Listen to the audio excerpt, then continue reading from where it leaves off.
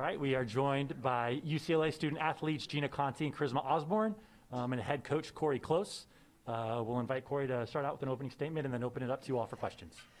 Hello, everybody. It's so good to see you all again. It's been far too long, and just appreciate everything that y'all do. This is uh, so important for our conference, for the young women that represent us so well, and uh, just really appreciate y'all being here. And it's just great to see you, and thank you for the coverage of our great sport. Uh, really excited about our team this year, uh, but I'll tell you, it's a lot of unknowns. Every day is a new discovery. We have literally nine new players on our roster that were not on our roster last year, so it's definitely a different. Uh, looking and feeling team, but really like the pieces. Um, but our challenge is going to be to have them come together to really become a team without the like long-term reps of having years with each other. Um, but we have plenty of talent, great personalities, and really committed to playing at a championship level. Cheryl Coward, hoopfeed.com. We cannot let you uh, leave without asking you about the Rookie of the Year in the WNBA and what that means for your program and your thoughts on that. Well, I think it's not only what means what it means for our program, but for this conference, right? That we're that this conference prepares people for the pros, and I think it's uh, important to always think about it in sort of bigger terms than just ourselves. But also, we're very proud of Michaela Onyenwere and being Rookie of the Year in the WNBA. Um, you know that credit goes to her. She had big dreams, but she even had bigger work ethic. And she always did it within the context of making her team and her program better. It was never about Michaela. It was always about the people around her and how she could make them shine. And so it's so great when that comes back to her having this kind of moment and well earned, and we couldn't be happier for her. Gina, why UCLA? Yeah. Um, can you guys hear me? Okay, so for many reasons why UCLA, but um, once I put my name in the transfer portal and just talked with the coaching staff and just heard their vision and how they invest in you know me as a player and as a person, um, really just stood out to me. And then with seeing the players and seeing their culture and their chemistry that they had, and with the history that the UCLA has had as well, um, making to the Sweet 16 and the Elite Eight, um, I wanted to be a part of something special. And then charisma, uh, reading about a practice that Cori said you guys aren't getting it done today, and we're done for the day. Uh, I'm wondering kind of what the discussion was with the team. I know that you continued on with your own practice. I just want to know how that felt, you being one of the leaders of the team, and what that conversation was, please. Yeah, we continued on with the practice afterwards. But I think um, not even just me, the rest of our leadership group, uh, we really met and got together and was trying to figure out like what's going on with the team and what we need to do better so that we're not having dips and ups and downs in practice. Um, and I think recently we've been trying to bounce back and trying to figure it out. And like Coach Cori said, we have a lot of new players, so it's a lot different than last year. But I think we're we're coming along and we're gonna get it together. Well, let's make no mistake about it. When we were flying up here yesterday, Charisma told me you were mean and angry today. So she was, she you know, was. that- but so there you go. she's just trying to make us better. So. Uh, Kevin Dana with Pac-12 Networks. Uh, Coach, uh, I have a question for both, but first for Coach, what was it like coaching last year when at times you only had seven players available and to still get to the second round of the NCAA tournament despite having kind of thin numbers and to now this year where you have a lot more bodies available and, and high level uh, players who, who could be rotation pieces for you? Well, I think it is interesting. I might have to learn how to sub again. I didn't even know how to sub last year. I didn't have to, so I'll have to do that. But um, yeah, obviously it's great to have a little bit more depth. But I've all, I'm also such a big believer when you're holding the standard, um, you know, to be able to say the bench is your biggest motivator. You know, if you want to find your way into that rotation, there's certain standards you need to meet, and we just didn't have that luxury last year. So it's a really great to have that kind of opportunity to be very clear on what the standards are and what it takes to be out on the floor and to be a part of that rotation. Um, you know, in the midst of it last year, it was just, it was one of the, it was probably the hardest coaching year I've had, um, both in the emotional side of all that the young women were going through, but also just the tactical side. We, we played a lot of three on three. Most days we didn't have five on five to go against. And so it was really difficult. And probably the loss, um, to Texas in the second round of the NCAA tournament was in the moment one of my most painful losses of my career, if I'm being honest. But as I've had time to reflect and to look back, um, it may be one of my proudest, uh, you know, moments to watch that team choose joy intentionally grow despite their circumstances. And so, as I look back on last year, there's going to be a lot of lessons that we were sort of forced to learn that I'm going to hold tight to my heart and it hopefully will inform me as a leader moving forward. And charisma, what was it like playing through a season like that? What did you learn about yourself, and, and how does that kind of compare to the roster that you have this year? Yeah, it was definitely very different last year, not having as many players. But like Coach Cori said, we spent a lot of time together, so that was really fun. And I learned that I'm a huge quality time person, so it was really good for me to just spend time with my teammates and get get closer to them. Um, but definitely a great experience. It was challenging at times, but I think we had a lot of fun at the end of the day. David Yapkowitz from the Next. Hey, Coach. Hi, good to Um, see you. Good to see you. Um, you know, could you just speak a little bit about the um, the versatility that having both uh, Charisma and Gina in the backcourt brings? You know, either one of them can bring the ball up court, either one can play off ball. You know, just what what kind of dynamic do you have there in the backcourt with them? Well, don't tell them, but you know, um, but I think I, I, I really honestly think I have one of the best backcourts in the country, and um, their ability to play off of each other, to uh, stretch defenses from the three-point line, get to the cup, but maybe more importantly, set other people up. Um, I don't think there's anyone. I don't think I recruited Gina as hard as Charisma recruited Gina. Uh, you know, I think that uh, Charisma really wanted that partner in the backcourt, so that Charisma could be a little bit more freed up to um, be the scorer that she is, and to maybe think more tactically and less globally in running the team. And Gina is just naturally more of a quarterback, verbal uh, leader um, out on the floor. Though I, I have been impressed, Charisma, with how much you have been talking in practice and things. So, but honestly, they they really do complement each other so well. Uh, they're they're really good with the ball in their hands, but I've really enjoyed watching them grow without the ball in their hands. How they set and use screens well, how they understand angles, uh, both defensively and offensively. So uh, I feel very very lucky for these two to be leading our team from the backcourt. Charisma, speaking to that recruiting, well, uh, over here on your uh, left. Sorry, um, Thuc Nhi Nguyen with the LA Times. What was your recruiting pitch to Gina Charisma? Um, obviously, I really wanted Please a come. point guard. yeah, literally. Um, but she really was just asking about UCLA and why I chose UCLA. And she's told me a bunch of times relationships is very important to her. And I think our coaches and the rest of the staff really invest invest in us as people and relationships are very important to me. So I really just kind of told her about that and obviously she said the culture that they that we have here at UCLA that was something that she wanted and that's something that we have here. So Charisma, you're an upperclassman now. You've grown up quite a lot. So, what's it like being on this team now? So many new pieces. You kind of being that one experienced, the longest tenured, most experienced player. And for coach, what's it like watching Charisma grow into this role? Yeah, it's definitely different being an upperclassman, and then we have so many new players on top of that. But honestly, I think this is just helpful for me in my leadership and trying to grow as a leader um, and just leading my team and showing them the ropes and using my experience um, and just trying to lead my team and get us to where we want to be. It's really neat. You know, um, Charisma was uh, were housemates with uh, Michaela last year, and to I think she got a real firsthand look at what does it mean to set the tone. Uh, both with your words, but maybe more importantly with your actions. And I think what's been really neat is as Michaela has moved on to watch Charisma take those lessons that she saw modeled for her in the day to day and now really put them into practice.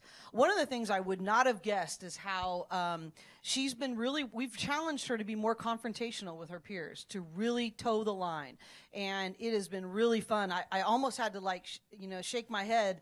We were doing a one on one, very competitive drill, and Charisma just stopped it and said, you know, this is not the standard.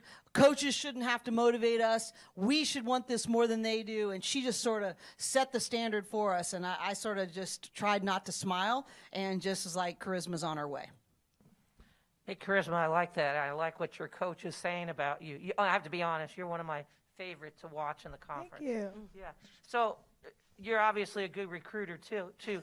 So tell tell me a little bit about your teammate Gina and uh, what you like about her game, and why is she a great teammate for you and a compliment. Yeah, first, I'm excited that she's a point guard. She's run the team. Um, but honestly, it's so fun playing with her. Um, she has lots of energy on and off the court, and just is someone I can rely on always to talk, communicate, um, do what Coach Cori's asking of us, and give energy and effort. Um, but yeah, she's just a great teammate in general, and like we talk all the time, like we can't wait to play with each other, and we're just gonna kill it. So I'm excited to play with you. And Gina, uh, what do you expect? I mean, you got a great teammate. I mean, charisma is the real deal, yeah, as you know. And obviously, for your coach to bring you as a grad transfer here, that says something about you. Like, what are, what are your expectations for you personally and for your team this year?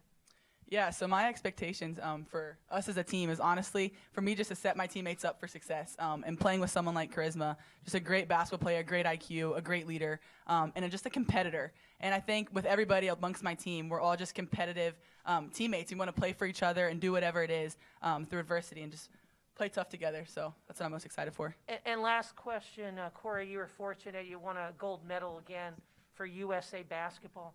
How does that experience and like what do you bring back to your team in coaching or what what what do you bring back to benefit your program at UCLA? Well, they, they tease me that they hate it when I come back, but they said I'm even more anal than normal about attention to detail. Um, but you know, one thing I learned for my very first time going to uh, a USA basketball event, uh, it was a U23 team. It was five years ago, and they were doing a presentation about to the players trying out about what does it mean to put on that USA basketball jersey. And she never once, Carol Callan, who um, just recently retired, but never once mentioned gold medals, but what she always talked about was gold medal habits. And I think that that's been one of the biggest takeaways for me is that you can't just hope for a championship or becoming a champion. You got to commit to championship habits and a championship process. And your eyes have to be totally present focused on what does a championship rep look like and that then championships take care of themselves but i think that standard of consistent excellence and habits in everything you do is something that i've really gained from my time with usa basketball Hi, uh, Michelle Smith, Pac12.com. Cori, as an extension of that question, you've had a very busy off season with WBCA, personal loss, the USA basketball trip. How is all of that going to inform your perspective as you head into this season? Well, I think that, you know, there's just so many things. I think there's, you know, there's the pandemic, obviously the loss of my father, the opportunity to represent my country, all of these things. And I think that what it's really done is just given me uh, a heart of gratitude. Like, I get to do this. I have a, uh, as stealing from uh, Ernie Johnson, I have an I get to job. And not an I have to job, but I have an I get to job. And I'm just so fortunate. And I think that all of those experiences, it just makes me, I think, just have a little bit deeper perspective, a little bit more gratitude, and, uh, and just really more of a valuing of people. Uh, I think that it's very apparent to me that, that life is fleeting and it's really hard and only what we share with each other. Uh, the opportunity I have to watch them grow, to help them become who they want to become, and to impact the world in the way that they want to impact the world, that is such a privilege. And I think this last year has just made that go a little dip, bit, bit deeper about how fortunate I am to be a part of that process.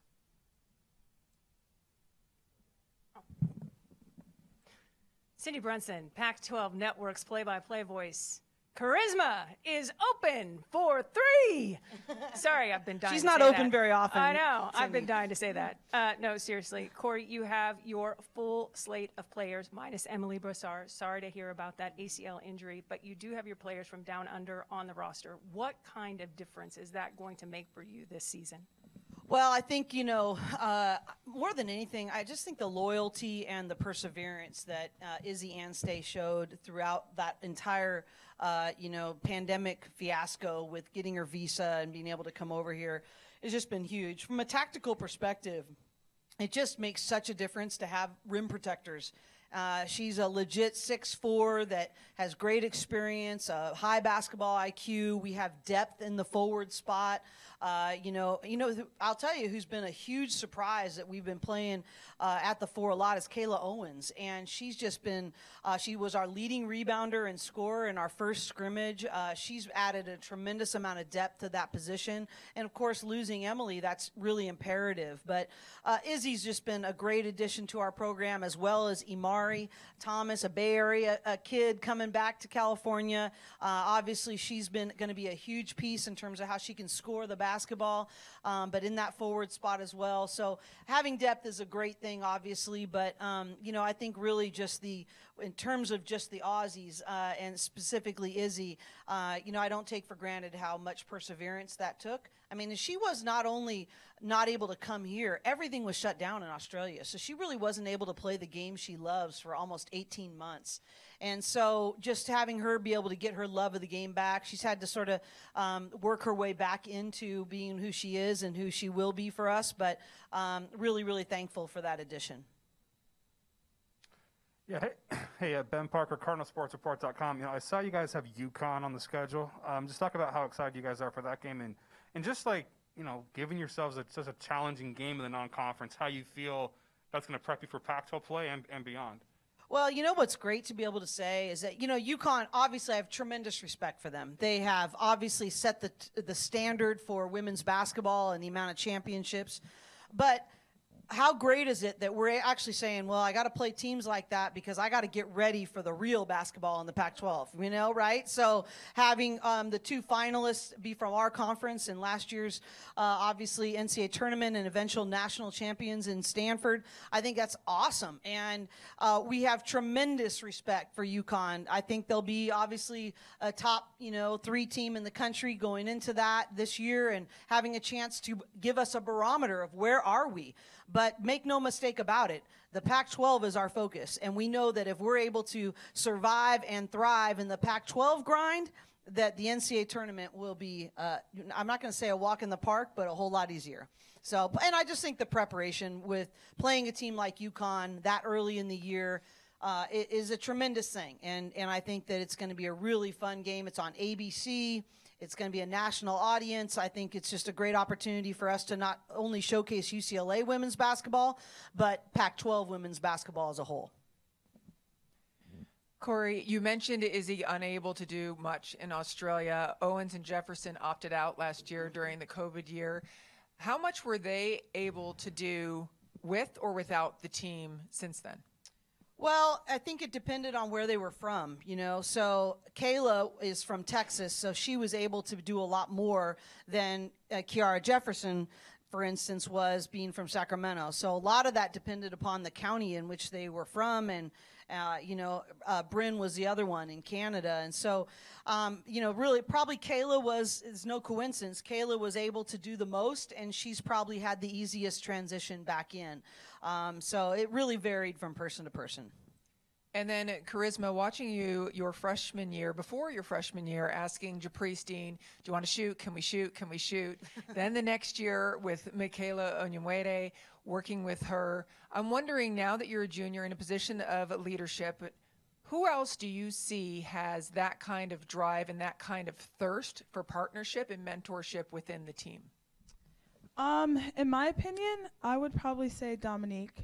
Um, she's always in the gym, just a gym rat. And last week, I asked to shoot with one of my other teammates, Angela, and Dom saw that we were shooting early before practice when she came in the gym.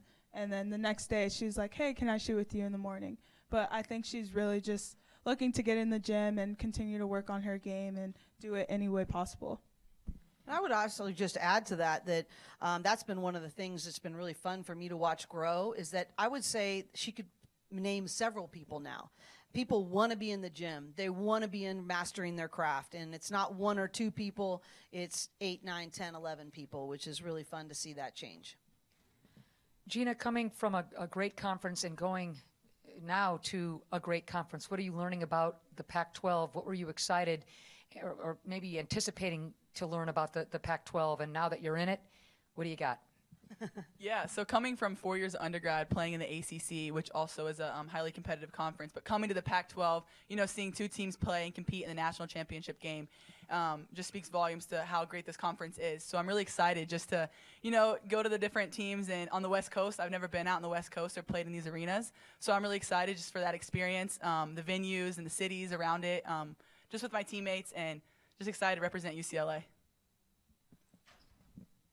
All right, I hate to cut this short, um, but we are out of time. Gina, Charisma, Cori, thank you so much. Oh. Um, and USC will be in shortly.